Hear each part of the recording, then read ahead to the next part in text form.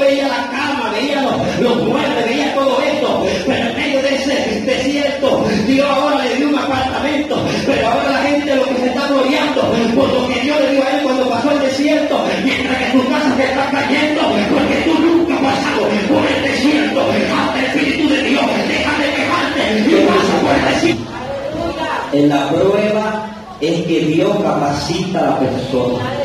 Y si Dios está capacitando en el desierto, no es para que tú estés ocupando solamente un banco, es para que tú también seas un pastor, es para que tú seas también un evangelista, es para que tú seas un profeta, es para que tú también seas un diácono, si no gloria. Es necesario pasar por el desierto. Manifestaciones de Dios, Dios las hace en medio del desierto.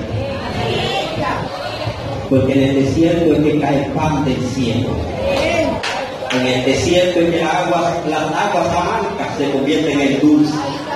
En el desierto es que tú ves milagros que le tocan a la peña y brotan agua.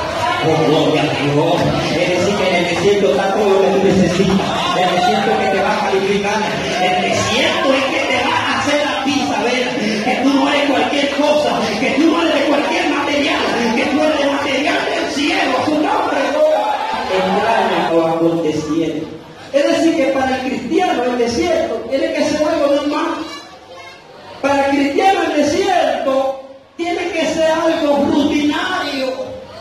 Porque si no hubiera desierto, usted tuviera, ¿sabe cómo en el mundo todavía bebiendo cerveza, bailando bachata?